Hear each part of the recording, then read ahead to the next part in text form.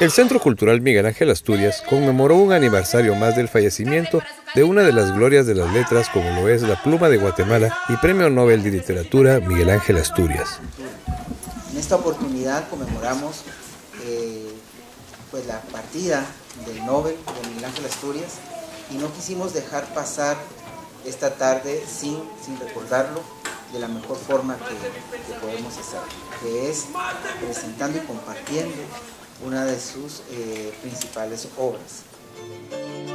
Se llevó a cabo La Lumbre de Asturias en el Teatro de Cámara Boca Río este 9 de junio como un homenaje a Miguel Ángel Asturias con la participación de los alumnos de la Escuela Nacional de Arte Dramático ENAD Carlos Figueroa Juárez.